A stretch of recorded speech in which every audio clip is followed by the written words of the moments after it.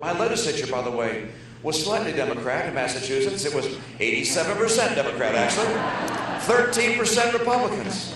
I realized I would get nothing done, nothing done, unless I found a way to find some common ground with people across the aisle.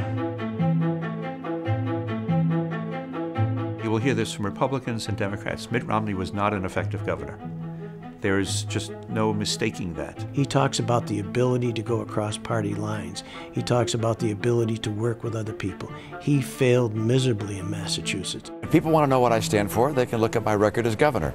When Governor Romney became governor of Massachusetts, many of the issues that our country faces were at our doorstep. High debt, the need for jobs, the need to support a working middle class. There were great opportunities, and there was great hope that Governor Romney could deliver.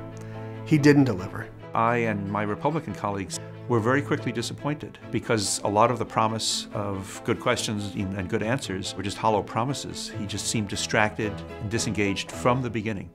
And in my 26 years, he's the only governor who has ever refused our invitation to sit and meet with us and talk to us. The man did not care.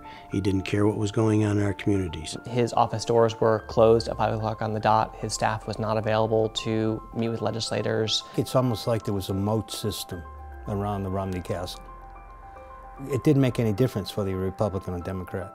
It was hard to get across the bridge. From day one, he, he had aides walking around with fake earpieces in their ears. I remember that, and pretending that they were Secret Service agents. And he put up a velvet rope in front of the office and made sure that no one had access to the governor's office whatsoever. If Mitt Romney couldn't care enough or didn't have the skill set to work with 200 legislators who, in Massachusetts who get along reasonably well, how in, on God's green earth is he going to be able to manage 535 people in Washington who can't get along?